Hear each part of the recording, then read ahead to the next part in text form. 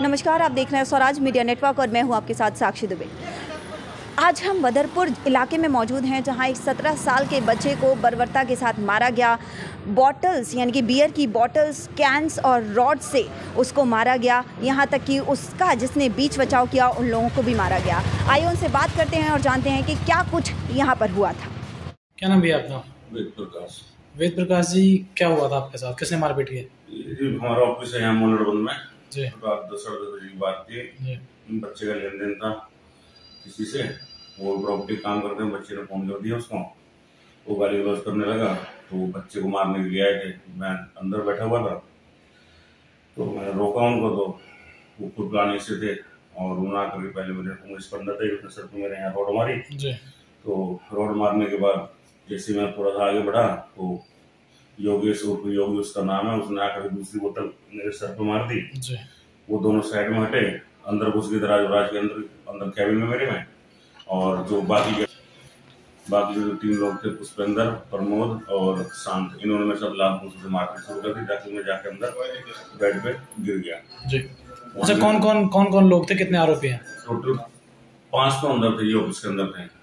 जिनको मैं जानता हूँ दो जो बाहर था उनको मैं जानता नहीं अच्छा।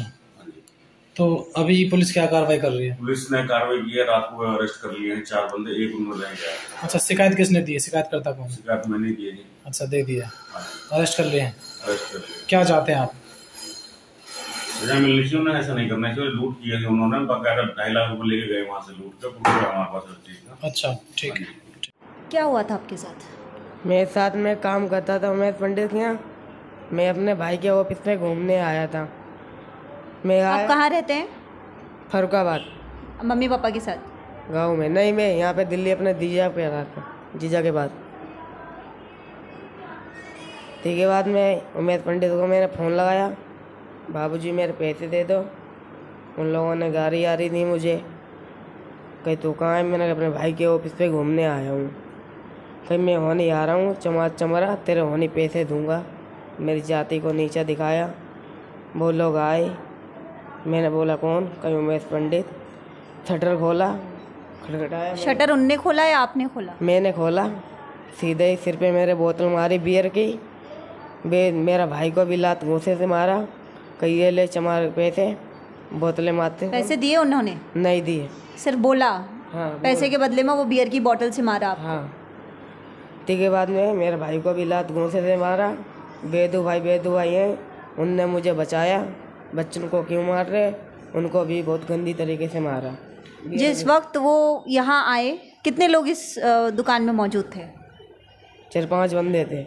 आप पाँच लोग थे? नहीं मैं तीन बंदे थे वो चार पाँच बंदे थे। वो चार पाँच कितनी गाड़ियों पे? दो गाड़ियों पे आए दो गाड़ी पे। अच्छा।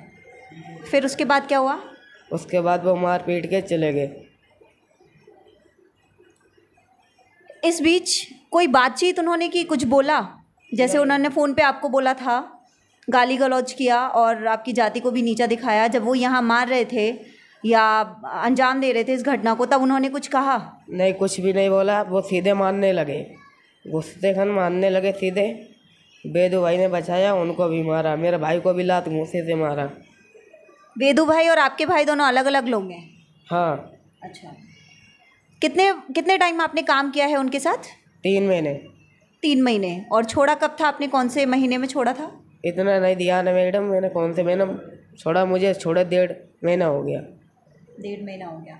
और कितने महीने की कितने टाइम की सैलरी उनने आपको नहीं दी थी? डेढ़ महीने की। कितने पैसे थे? बारह हज़ार। बारह हज़ार रुपये उनने नहीं दिए। जब आप यहाँ आए आपने मांगे तो उन्होंने इस घटना को अंजाम दे दिया। हाँ। अच्छा इस विषय में आपको कुछ पता है? कितने लोगों की गिरफ्तारी हुई है या पुलिस ने क्या एक्शन अभी तक लिया है? चार लोगों की गिरफ्तारी हो गई उसमें दो लोग छोड़ दिए गए। उमेश पंडित योगी शांत प्रमोद पंडित दो लोग छोड़ दिए गए। कौन कौन छोड़ा गया इसमें से? शांत प्रमोद पंडित। इन्होंने आपके ऊपर हमला किया था? जी किया था। तो अब इनको छोड़ दिया गया आपको कोई खतरा नज़र आ रहा है? जी पूरा खतरा नज़र आ रहा है। अच्छा। आपके आपने बताया कि आपके सिर में इन्होंने बॉटल मारी है? जी। कहाँ आप चोट के निशान हैं कहीं? है चोट के निशान कहाँ पे भी हैं?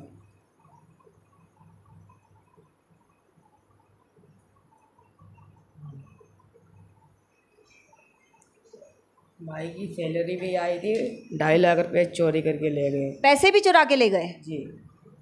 अच्छा वैसे ये लोग करते क्या काम करते हैं ये लोग? प्रॉपर्टी डीलर का ऑफ़िस है। इनका भी प्रॉपर्टी डीलर का काम है। हाँ। तो इनको कैसे पता चला? लाइक आप पैसे तो रखते नहीं होंगे ऐसे सामने? या आपके जो भैया हैं वो सामने तो पैसे नहीं रखते पता। होंगे? मैं तो घूमने आया था। मैं इतना ही कहना चाहता हूँ ढाई लाख रुपये भी चोरी करके ले गए। अच्छा। तो आपने जिस तरह से देखा कि एक सत्रह साल के बच्चे पर हमला किया गया, सिर्फ़ इसीलिए कि उसने अपनी पेंडिंग डेढ़ महीने की सैलरी जहाँ पर उसने काम किया था, एक सत्रह साल का बच्चा चाय पानी देने का काम एक दुकान पर करता है और वो बिल्कुल हक रखता है कि वो जिस सैलरी में उसकी बात हुई है, वो सैलरी ले। लेकिन जब उसने सैलरी के लिए फ़ोन किया तो यहाँ पर जो लोग मौजूद थे, जिन्होंने इस घटना को अंजाम दिया है बर्बरता से उसके साथ गाली गलौज की, फ़ोन पर ही और उसके बाद जहाँ वो बच्चा मौजूद था, उस जगह पर आए और उसके साथ मारपीट की, हाथापाई की। यहाँ तक कि बियर की बॉटल्स रॉड्स और डंडे से भी पिटाई की गई। जिन लोगों ने उसका बीच बचाव किया, उन लोगों की भी मारपीट की गई। वहीं पुलिस ने इस विषय में चार लोगों को हिरासत में लिया था, जहाँ दो लोगों को छोड़ दिया गया है। अभी जिन्होंने एफआईआर की थी उनको इस विषय में कुछ भी अंदाज़ा नहीं है, कोई भी अंदाज़ा नहीं है कि उन दो लोगों को किस बिना पर छोड़ दिया गया। परिवार वालों का ये भी कहना है कि जिस हॉस्पिटल में वो एडमिट थे, उस हॉस्पिटल के आसपास जो दो लोगों को पुलिस वालों ने छोड़ा है, वो मंडराते हुए नज़र आए। वहीं परिवार वालों को अभी भी खतरा अपने सर पर मंडराता हुआ दिखाई दे रहा है। फ़िलहाल आपका इस विषय में क्या कहना है, ज़रूर हमें कमेंट बॉक्स के ज़रिए बताएँ। साथ ही इस वीडियो को ज़्यादा से ज़्यादा लाइक करें और ज़्यादा से ज़्यादा शेयर करें ताकि ज़्यादा से ज़्यादा लोगों तक ये वीडियो पहुँच पाए और दिल्ली में क्या हो रहा है, ये आप तक पहुँच पाए।